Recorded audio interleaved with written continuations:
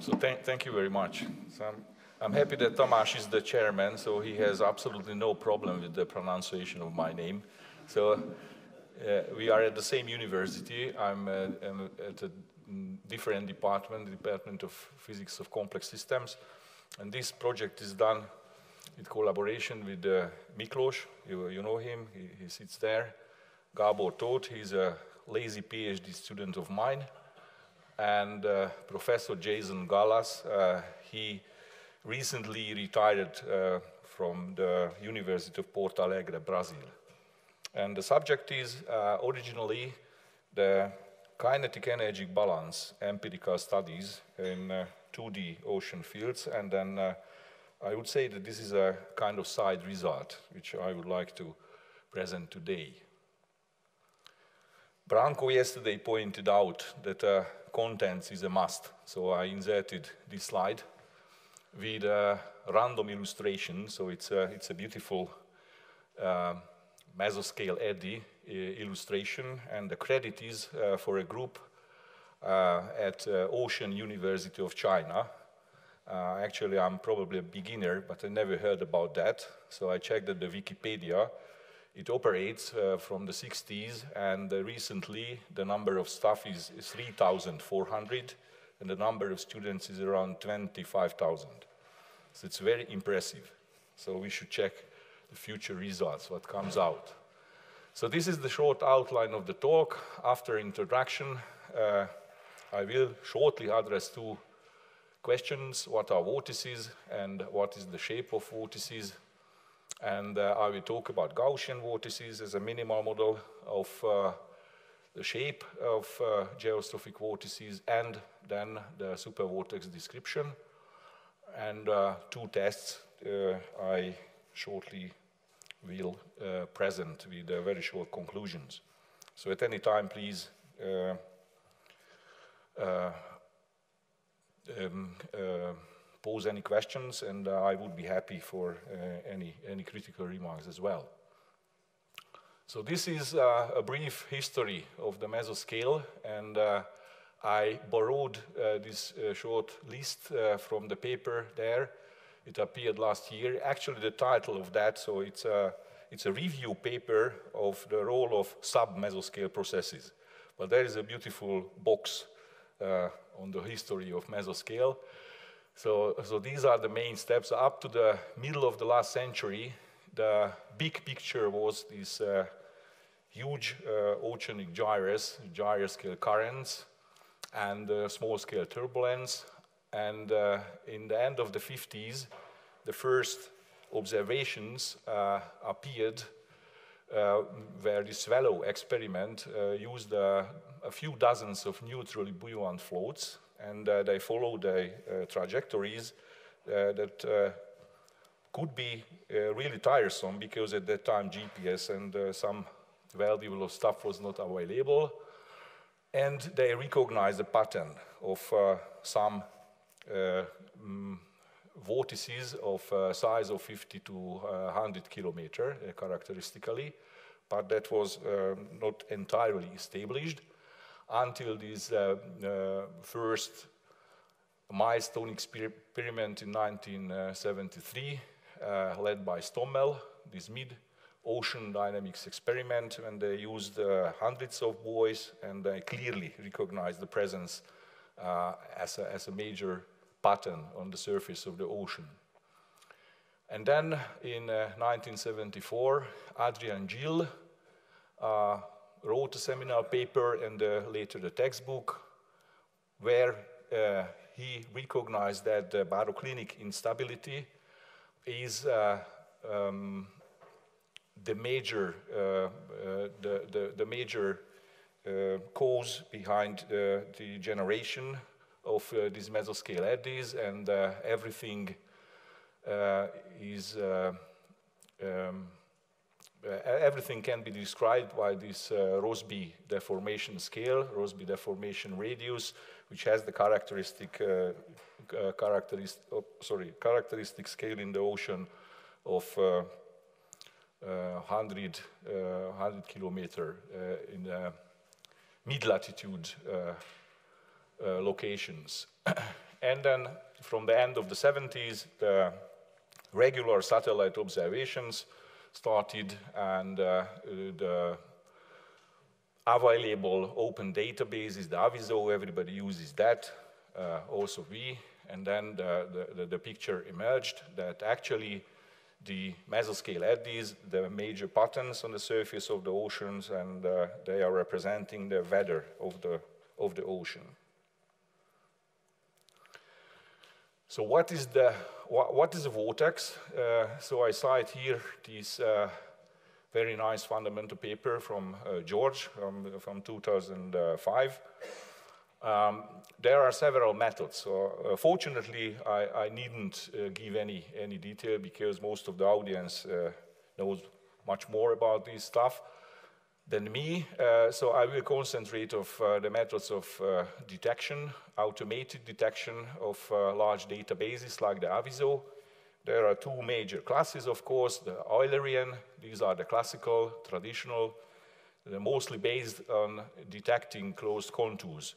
So the most common is the sea level anomaly closed contours. And uh, we heard about also here Okubo-Weiss parameter contours. There are methods based on wavelets, several methods, and uh, also geometry of velocity vectors and uh, several variants of them. So there are a couple of papers uh, dedicated to a critical comparison of this methodology. This is one example here and it uh, shows uh, that it compares uh, three major methods with different filtering inputs, and then these are the conclusion. So none of the Eulerian methods is superior, so there is no ultimate eddy detection methodology. So you see here that the discrepancy between the number of identified eddies can be really huge. So uh, the bottom line, uh, so this method, this Okubo-Weiss uh, contour method, identify less than 100, um, le le less than 100 uh, eddies per day. Uh, act actually, this is, this is a much higher temporal resolution, uh, while a factor of two and two and a half um, um, is characteristic for other methods with many false positive detection. So the other class of the methods is uh, the Lagrangian family. The, the, Lagrangian methodology is much better founded mathematically. We know well. Uh, so here I, I, quote one paper. It's also a, a critical comparison test. Uh, uh, so uh, Hajig Hashem, sorry for the pronunciation, I don't know.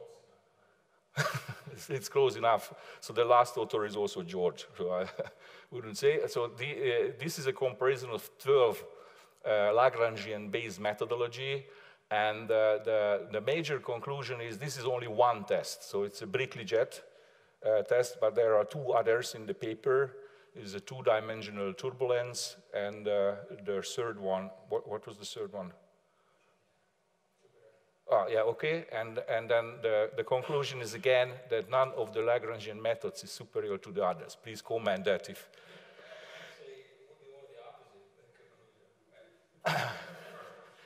Okay, but, uh, so one reading is that some of, the, some of the methods are working good for jets, some other methods are optimal for, for eddies, uh, some, I, I, I, don't know, okay, but uh,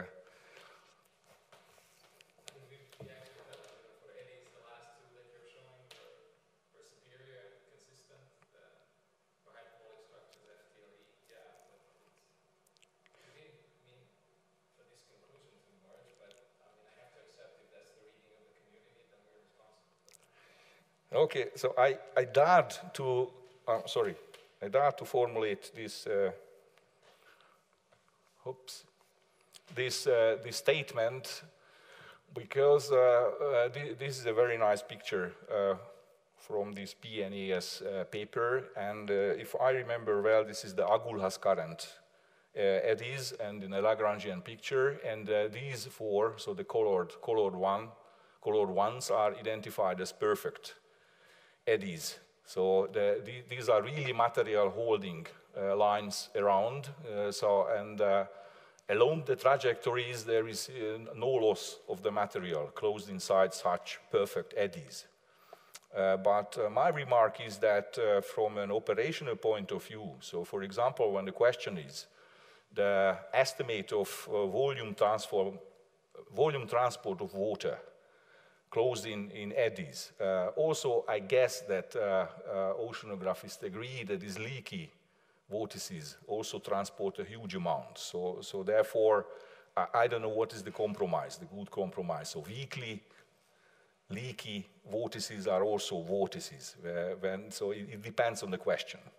So certainly mathematically, these are the perfect vortices, but also for me, these are also vortices. So the, ah, sorry,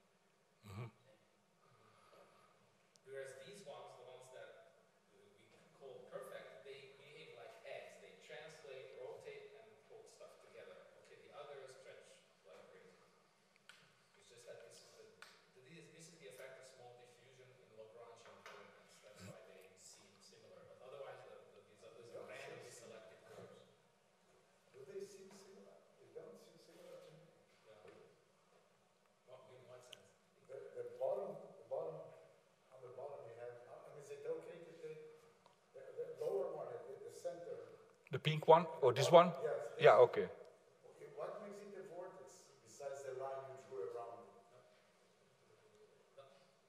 Nothing. Nothing, yeah, okay.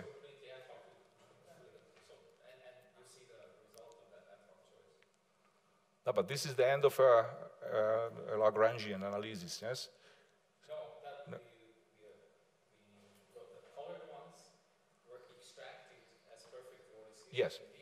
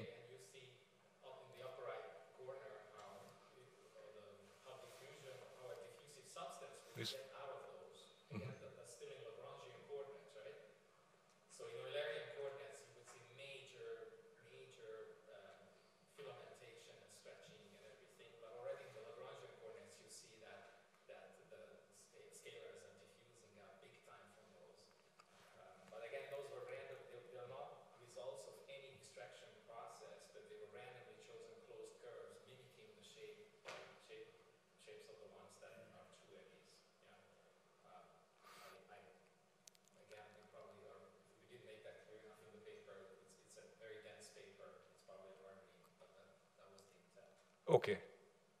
So thank you, thank you very much for these comments. So, uh, okay, here are uh, some um, particularly two answers to the question, what is a vortex? So from, uh, from two papers here, and uh, these are the formulation. It's uh, pretty complicated, not to mention the mathematics behind. Uh, here I would like to show you that some very nice vortices can be easily produced in a laboratory.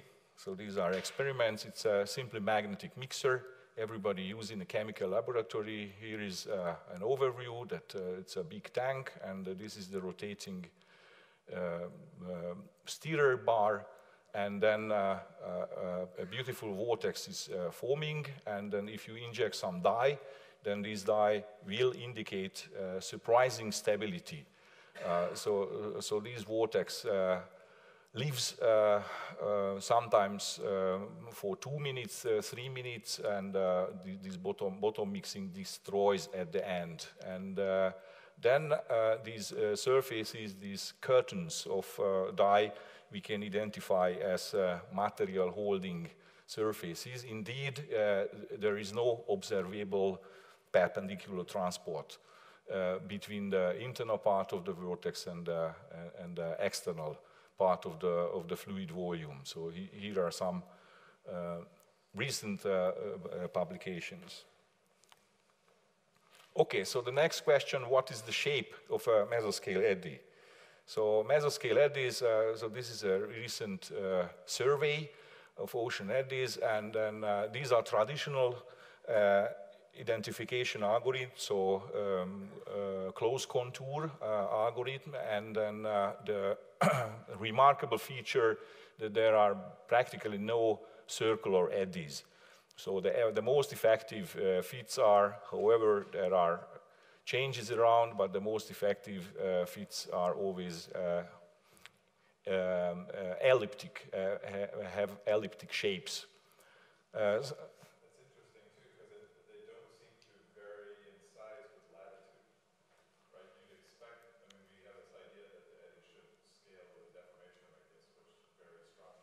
Yes. Yes, indeed. Uh, um, I have no idea. So this is this is a snapshot for, for, from from that paper, and uh, it might be the the reason that uh, probably these uh, these vortices are advected. So these are not uh, not close to the uh, origin of their birth. Yeah.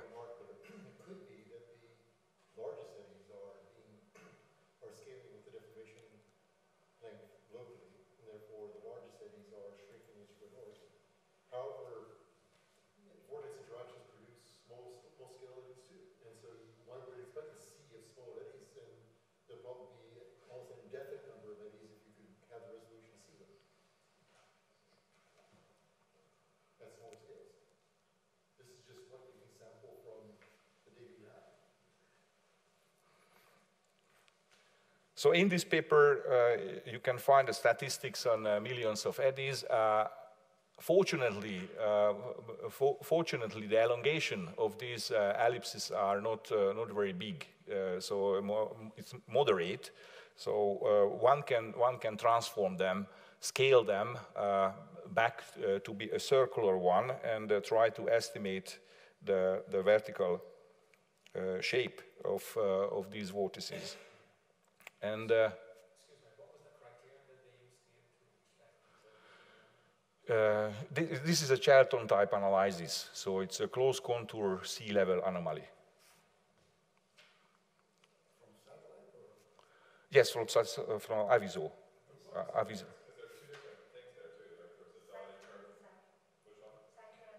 Yes, the sign of the the sign of the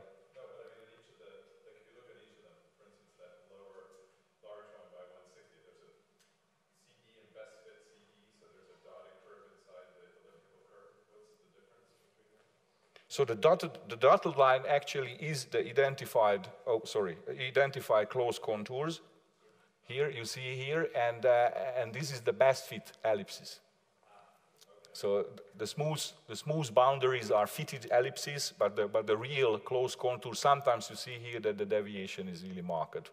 So it's a distorted. Uh, this is a snapshot, yes and I evaluated millions of um, millions of these frames. So it's basically their imagination. yes.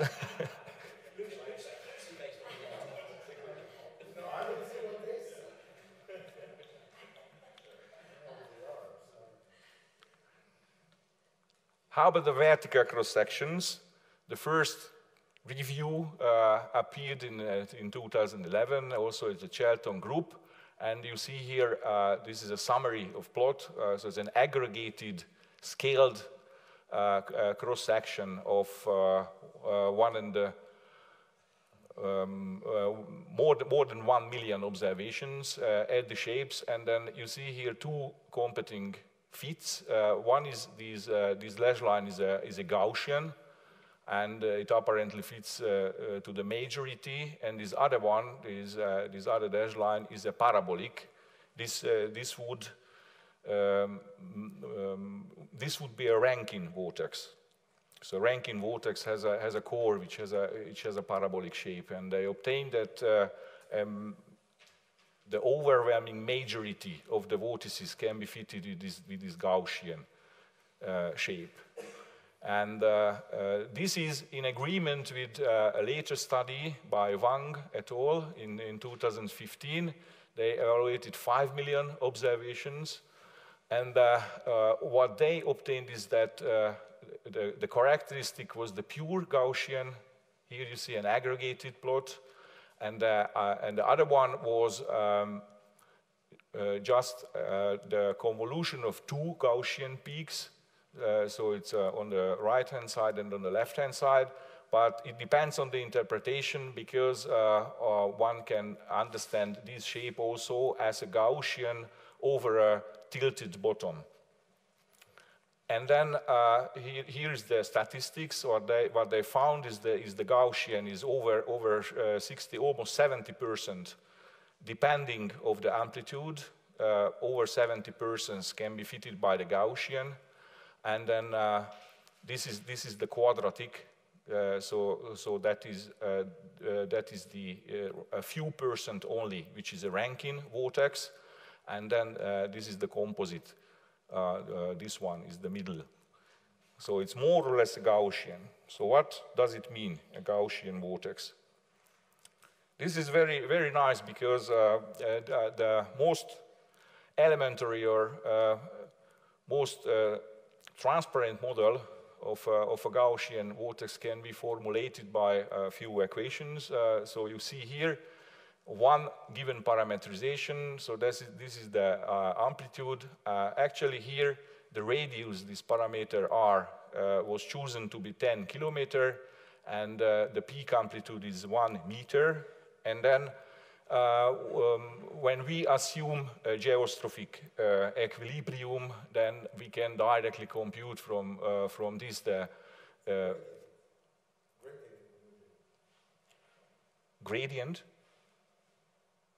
Oh yes, uh, yes, because the, these, velocities, uh, the, uh, so the pressure, the, the, pressure, pressure gradient is determined by the height. Yes, here, here it is.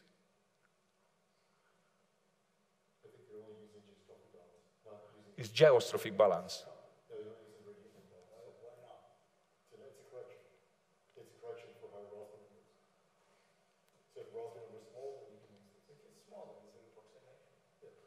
yeah, it's an approximation, but this, this is the pure asymptotic mathematical model of that. And then here, here is the vorticity, and it is sometimes called as a shielded Gaussian vortex, because as you see here that around the core vorticity, there is a ring of opposite vorticity. But this does not mean that uh, the direction of the rotation changes.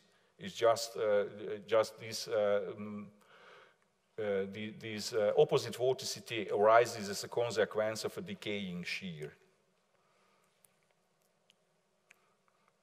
The interesting fact is uh, that some observations, uh, um, some 300,000 observations in, the, in, this paper, Amores, and uh, are really observed this uh,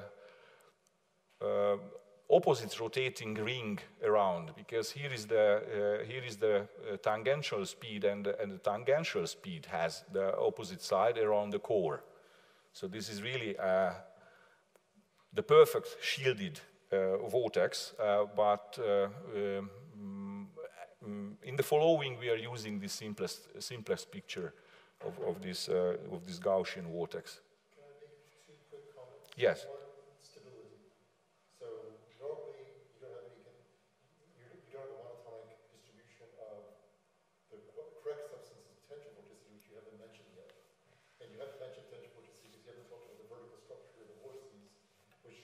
don't go down to the bottom unless the biggest vortices there.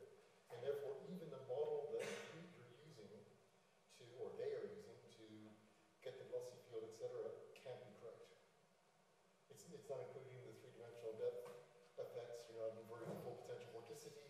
You need the potential vorticity distribution with depth to actually know where the velocity field is.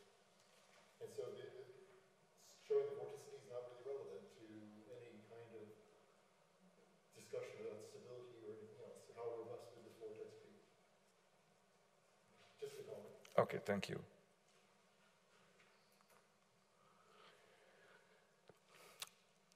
A very appealing property of this uh, Gaussian vortex is that when we define the kinetic energy in this way and the enstrophy as a square of the, of, of the vorticity, of the, of the vertical vorticity, um, the density is neglected here. It is also a quadratic function of the, of the peak amplitude and the appealing property that all of these quantities uh, have a finite value of uh, integration uh, over an infinite domain.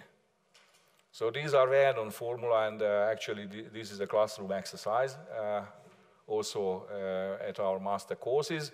So these are very simple uh, closed formula. So over infinite domain, one single isolated Gaussian vortex. And then it is easy to recognize that when uh, you calculate the, the ratio of this kinetic energy integral and the enstrophy integral, uh, then the ratio is an extremely simple formula. It is r squared over 2. So these, uh, th this ratio defines an, uh, an effective uh, size uh, of, a, of a vortex. And a second remark is that the kinetic energy integral depends only uh, on the peak amplitude of, of a Gaussian uh, vortex. And uh, this, this is related to, to some scaling properties or some similarity of the, of the velocity field.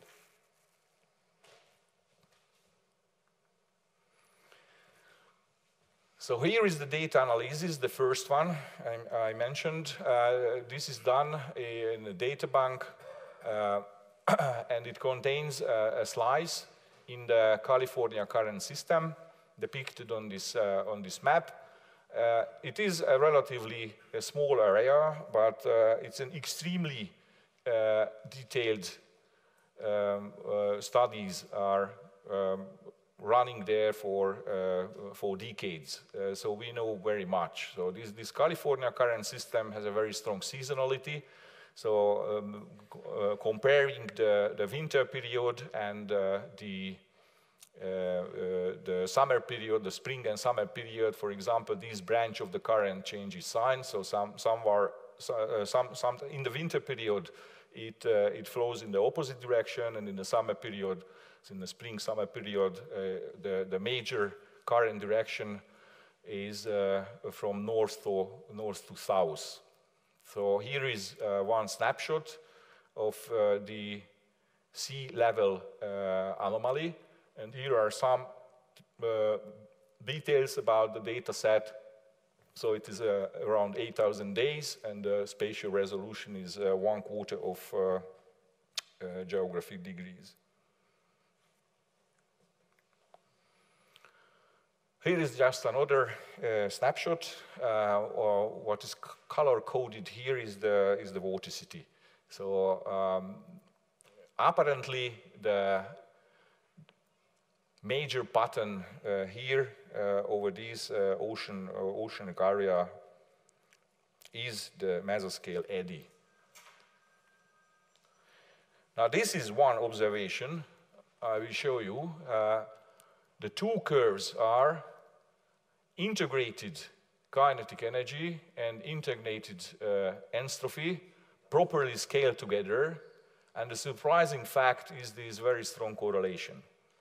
So the area of integration is this offshore region uh, denoted here uh, by this uh, dashed line on the map. So the correlation coefficient is, uh, the Pearson correlation is uh, 0.95 if we incorporate uh, the shoreline region, so close to the, close to the shore, then uh, this strong correlation uh, disappears. So it means that uh, the, the integration area, so this relationship uh, um, should be uh, considered over open, open sea area um, for, far enough from, from the shorelines.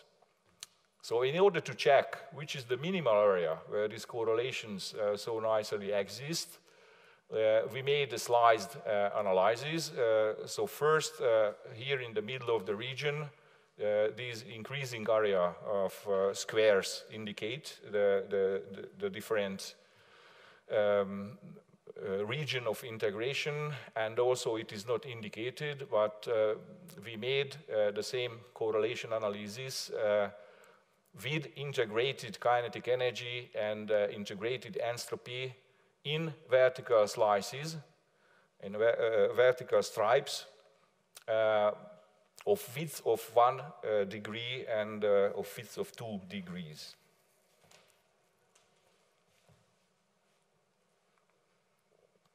And here is the major result of this uh, sliced analysis. So on the top panel, what we see is the blue dots represent the Pearson correlation as a function of the increasing area starting from the middle. Now the correlation is calculated over the total uh, time interval, so over the total 8,000 something days.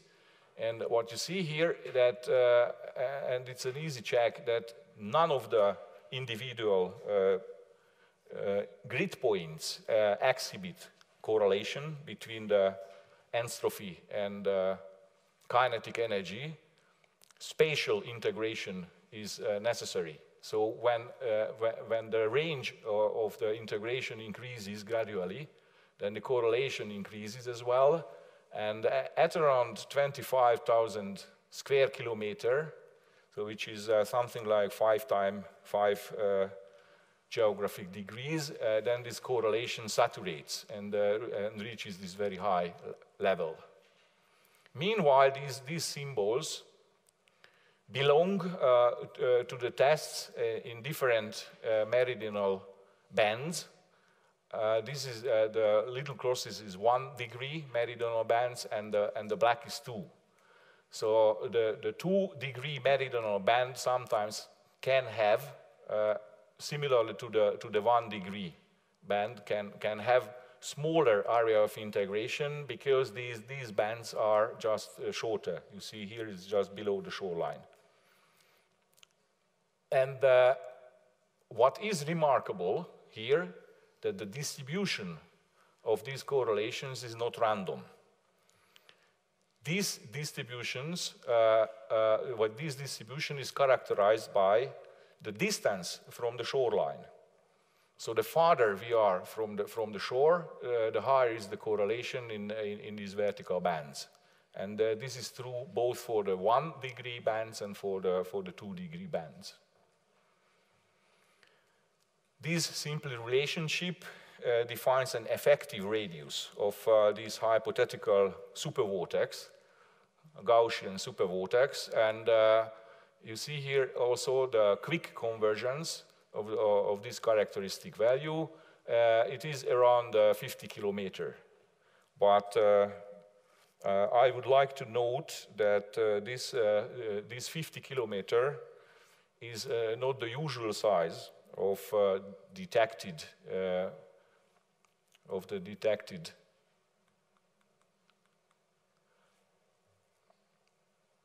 eddies, uh, sorry, automatically detected eddies, because uh, what you see here is uh, the fitted parameter, so this effective radius is only the one sigma width of a, of a Gaussian peak. So if we compare with these uh, observations, so a close contour line, size, then uh, you see here that is uh, these when we really imagine such a, such a hypothetical supervortex, then it is two times these effective R or even, even more, three times, three times the effective radius, effective fitted radius, which can, can be compared with an existing um, existing geostrophic vortex. The third parameter is the, uh, is, is the effective amplitude, which can be evaluated uh, from the kinetic energy integral. Uh, so here the parameters are simply the geometry, it's a pi, the mm, uh, acceleration, and the Coriolis parameter depending on the latitude. And here the large error bars uh, are the consequences of the strong uh, temporal fluctuation of the, of the signal. Uh, so it's the next step is to evaluate this uh, temporal evolution. Uh, and then uh, what we see here is, uh, is a ratio, and I, will, I will comment later what is the interpretation of this, of this eta parameter. Now, of course, the, the, the eta parameter must be normalized by something to have a comparison, because if we increase the area of uh, integration, then this uh, eta parameter is monotonously increasing, obviously. So, so it's a quite straightforward normalization parameter is the linear size of the area of integration. And actually, uh, to correct uh, the differences between the shapes, because uh, in a square, it's uh, simply this normalization parameter is the width of the square, but what about this vertical line. So then uh, the, this normalization parameter was the square root of the area.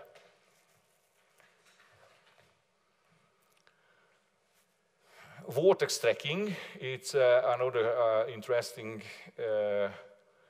um, part of this uh, is, is, this comparison with the, with the vortex census. So what you see here is trajectories of uh, long-living edges, uh, long-living eddies. So here the eddy age was over 30 weeks, and in the bottom panel is over 15 weeks. So these are really long-living eddying. What you see here is the well-known fact that the characteristic motion of these eddies is, uh, is a westward drift. They are monotonously shifting to the west. The method of this uh, tracking and vortex census was also, also this uh, close contour uh, sea level anomaly, so this uh, Chelton methodology.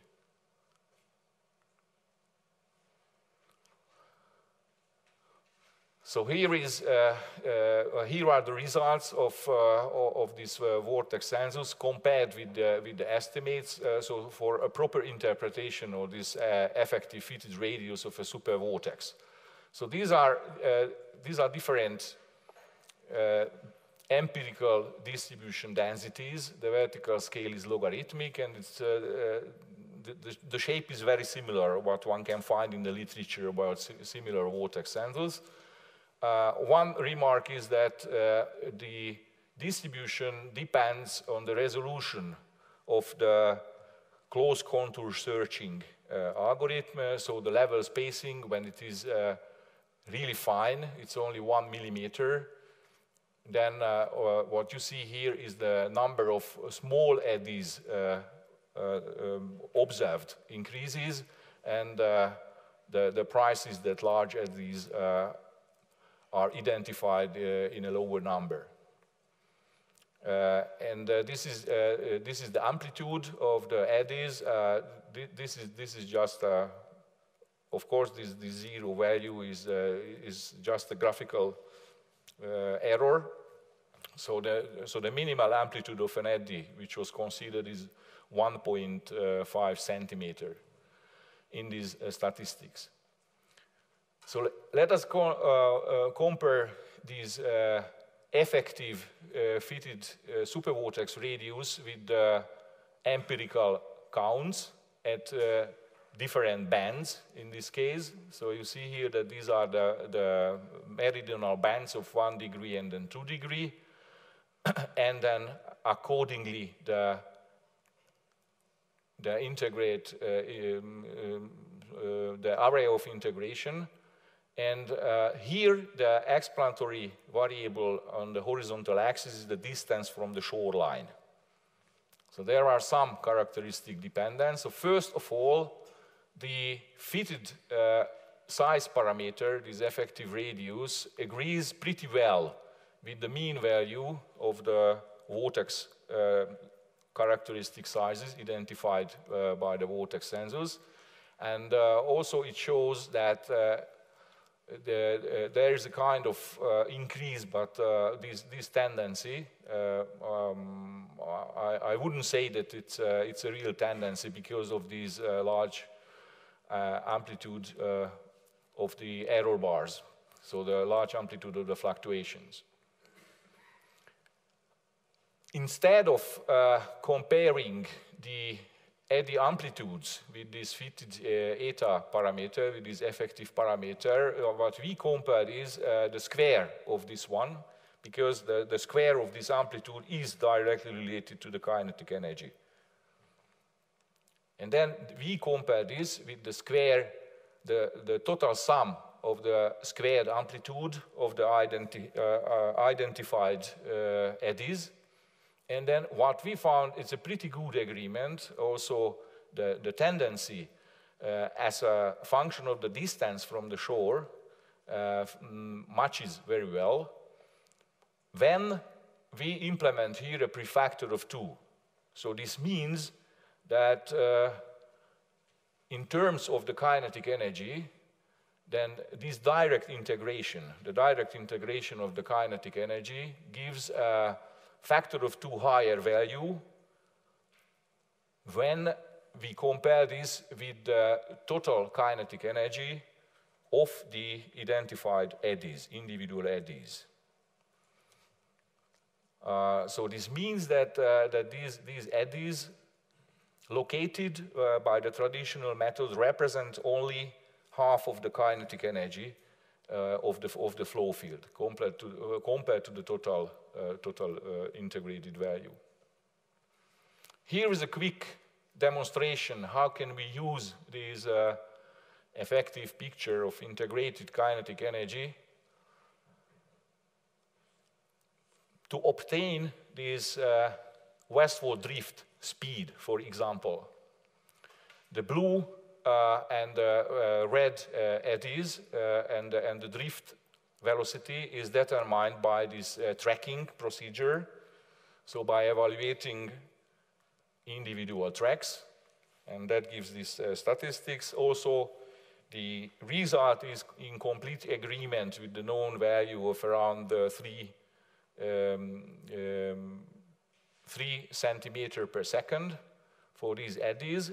And then the last one is uh, simply obtained by uh, determining the cross-correlation time between the time uh, series of kin integrated kinetic energy uh, between the neighboring meridional bands. So, uh, so this, uh, th this is a little overestimate here. What you see here is a, a quant quantization effect. Here, this is the stepwise difference, but uh, basically the value, what we got is uh, um, in agreement again with the individual eddy census. Basically, this indicates that this cross-correlation uh, comparison works. This indicates that the changes at a given particular area, in a restricted area, the, the changes of the kinetic energy as enstrophy, the ma major mechanism is uh, advection. So uh, kinetic energy and enstrophy is not generated over the open, open ocean.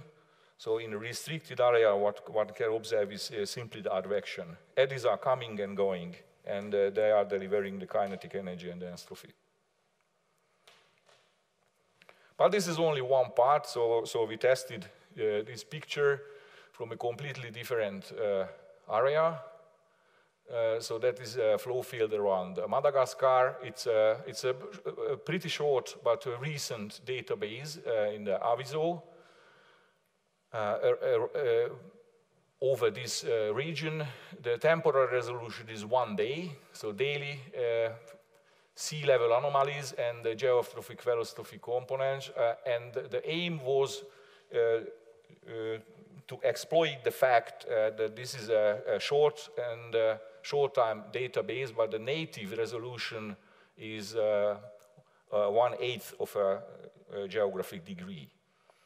mm, and uh, uh, this particular area is uh, chosen as a, a kind of a lucky situation because so many satellites are crossing this area that after appropriate blending, the native observed resolution is this one.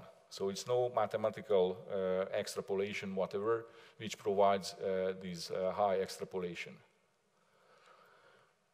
Uh, here, what, uh, what uh, we see is it's also very complicated from the point of view of background currents. sometimes this, this current in this Mozambique channel is a really strong one, and also it depends on the season, so very, very strong seasonality.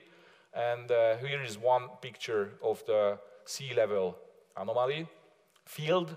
And uh, now uh, the indication that the top edge of this area is the equator is uh, really clear. So this, this is partly what you asked, that the interesting fact is that you see here that uh, the Coriolis parameter disappearing when we are going to the equator, and uh, also the amplitude of the vortices are, are, disappearing, so fading out as we are expecting. But still, you see here the vertical structures. Uh, the, these, are, these are streamlines, and then uh, the, the dots indicating uh, the center of uh, identified eddies by this traditional method. It's an interesting fact that uh, when we determine the mean value the spatial mean value over the total area as a function of time, uh, then uh, th this was our surprise that uh, th this is everywhere positive and it is fluctuating from uh, 5 centimeter to uh, 12 centimeter and it has a monotonously increasing trend during these two years. That, that we don't know what is the reason of that because we did not expect. But uh, during the, the vortex census, we corrected so in, in, every given sea level anomaly value, we uh, removed this uh, global mean because we don't understand what is the shift. It is certainly not the, not the global climate change because what we expect from that is three millimeter per year. And this is a two, year, two and a half year period only. And then uh, you see here, uh, it's uh, almost five centimeter, the drift. Anyhow, when we determine, this is the first rough check, when we determine the relationship between this uh, integrated kinetic energy and integrated vorticity, then again, what we see is a pretty strong temporal correlation. Not so strong than in the case of the open, open uh, ocean region, because in this integration, every, uh, uh, every site is uh, incorporated. But we know that uh, the very strong interaction uh, between the topographic features close to the shoreline and the background flow and the vortices destroy this relationship. So we, uh, we tested this relationship over these two cut, cutouts, uh, 10 by 10 uh, geographic degrees. One is very close to the equator, and uh, the other is away from that. And here is the result. The top panel shows the Pearson correlation, again, as a function of the increasing area of integration from the center outward, similarly to the previous check. And then the red curve uh, represents the, uh, the upper area, and the blue curve represents the bottom area here, these, these yellow squares. Uh, you see here that, that that is the curvature. So when we consider the area of integration, uh, we consider the curvature effect. So actually, the uh, so 10 by 10 degrees close to the equator uh, is larger by 10,000 kilometer than here, away from the from the equator. Uh, the interesting fact is that uh, we see here again that uh, at around uh, 20,000, 25,000, 30,000 kilometer, it, it, uh, the, the correlation seems to be saturated here, away from the equator, uh, but uh, interestingly, uh, it has a decaying tendency close to the, close to the equator.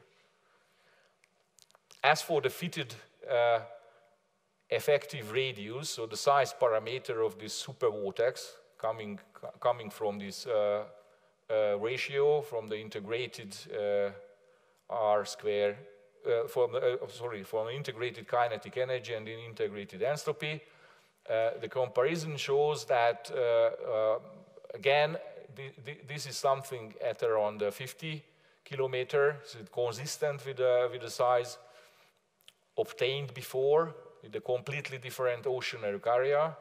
And uh, the tendency is the opposite, uh, so at larger and larger integration area results in an increasing estimate for the size parameter close to the equator and uh, a slightly decreasing one when you are away. And uh, here is the evalu evaluated amplitude parameter from the integrated kinetic energy. And uh, now the, the difference here is really marked. So the bottom curve shows that the amplitudes are much smaller close to the equator as is directly seen. And uh, large amplitude uh, eddy activity is characteristic when we are far enough and uh, we have a large enough Coriolis parameter.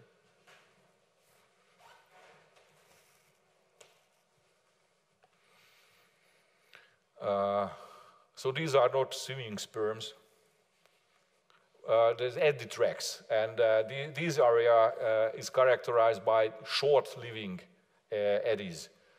You see here that mm, when the limit of the age limit is five weeks, then the number of, of representative eddies are disappearing.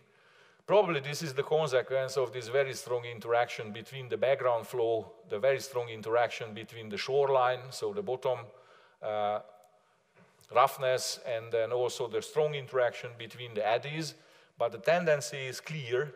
So, so these eddies are arriving from the open ocean. So the western drift is characteristic even so close to the uh, uh, African shorelines and uh, Madagascar. And uh, Uh, sometimes you see the effect that uh, in, this, uh, in this strong current in the Mozambique channel can advect uh, these mesoscale, mesoscale eddies as well.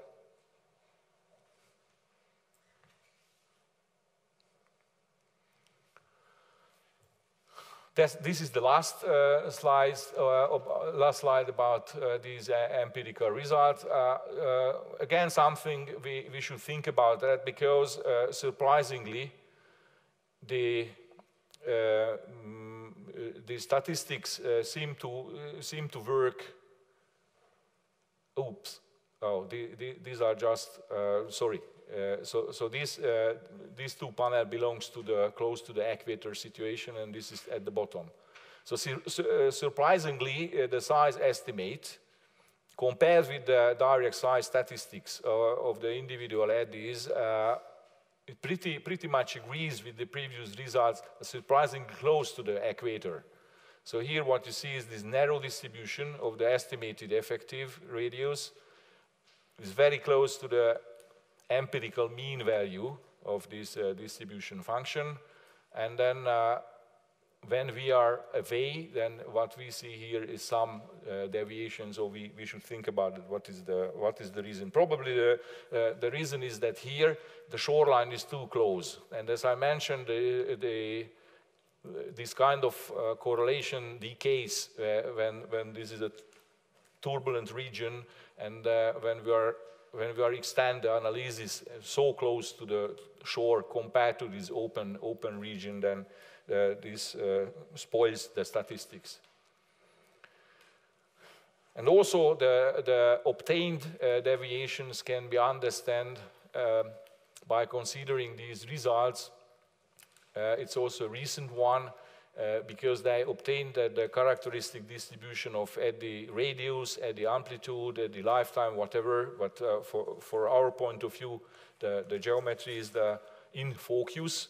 uh, is very strongly depend on the, uh, the spatial resolution of the, of the velocity field and on the eddy field. So the higher the resolution, such high resolution can be obtained only by um, numerical simulations and not direct observations, but uh, what you see here that uh, is definitely uh, at higher resolution, the number of small size eddies increases compared to the large-scale coherent structures.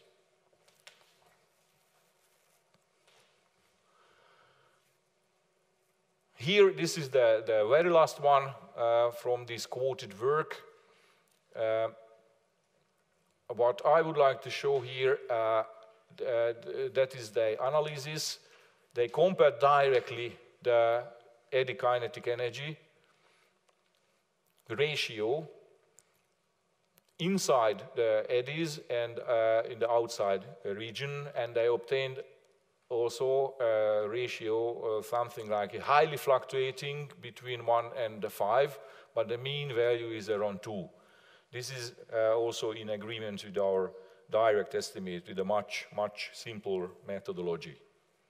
So um, I will stop here, and that is the conclusion that at the moment uh, uh, this proxy seems to work. So we would like to extend our analysis globally. So using the full Aviso uh, database and then see what, what comes out. Uh, but we believe that after these uh, two Uh, calibration uh, region that uh, it is pretty promising. So thank you very much for your kind patience.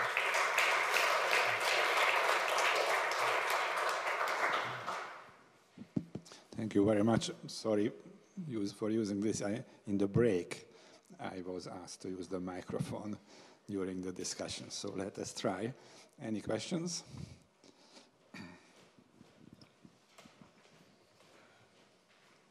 So I'm still curious about the size, because I mean, you're, you're seeing about the same size vortices at 6 south, I guess, or 4 south and, or 20, and 24 south Is that right? So both of them are, you're getting a radius around 50 kilometers. Yeah, 6 and 24. Yeah, that's yeah. right. Yeah, so they're about the same size. But the deformation radius is about a factor of four different between those two. So are these not deformation scale vortices, or why, why, why are they so similar? Do you know? No, apparently not. But, uh, but also again, so this, uh, this I mentioned that uh, these, these effective size parameter, when we are really considering the geometry, is, uh, you see here, it is only the, it is only the one sigma height. So the, if, if, for example, we are identifying such a, such a Gaussian vortex as a closed uh, sea level anomaly contour around zero, then uh, the real geometric extent is three times higher than this fitted parameter here. But that would still be true at both latitudes, though, right? That, that would still be true at both latitudes. So I'm just wondering. So I mean, you could, if you compare r the two latitudes or 2r or whatever, you know, but the, the, you still have the fact that the deformation radius is a factor of it's almost four between those two.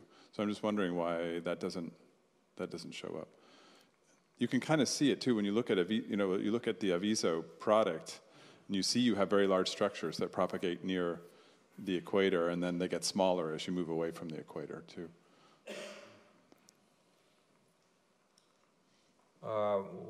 What I okay, so here are here are the empirical size distribution. Mm.